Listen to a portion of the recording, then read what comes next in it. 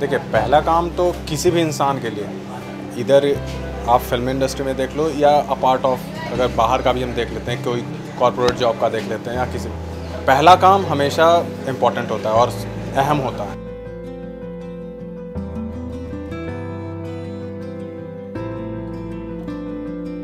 देखिए, मुझे लगता है कि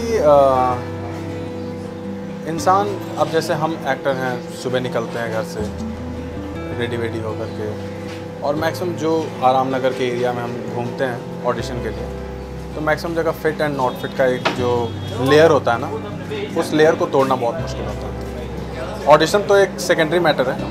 आप ऑडिशन दोगे क्लियर होगा, नहीं होगा, ये तो डिपेंड करता है बात की बात। But the first thing is कि फिट एंड नॉट फिट